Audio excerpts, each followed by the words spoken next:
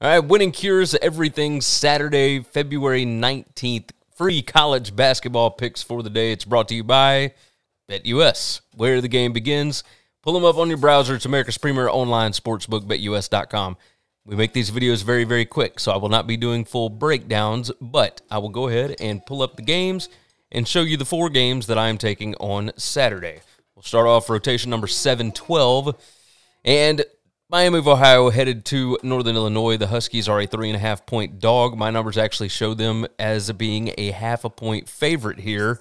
Uh, Northern Illinois been playing really well as of late. Miami of Ohio has dropped off, so I'm going to take the Huskies to cover the three and a half. I think they can win the game outright at home. Cal Baptist at Seattle. Seattle a six point favorite here. Rotation seven zero four.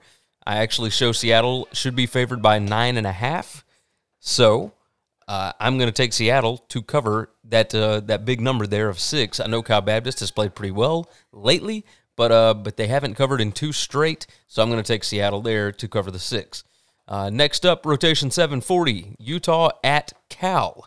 I'm going to take the Bears plus two and a half. I'm showing they should be favored by two and a half. That's a five point difference there. I mean, five points of value is a lot. I know Utah has covered in four straight, but Several of those they covered by half a point.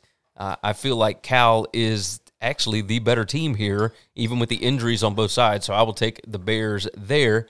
Uh, and then finally, 754, we got an Ivy League matchup Princeton at Yale. I'm going to take Yale as a pick 'em. Uh, they actually beat Princeton earlier in the year. I know Princeton only got five losses on the season, but they are on the road here. Yale is really good at home. Uh, so I'm showing Yale should be favored by three points here. So I will take Yale to uh, to cover as a pick 'em to win outright at home. Uh, three points of value there. And that is going to wrap it up. If you tail, we hope that you win. You can follow everything over at winningcureseverything.com.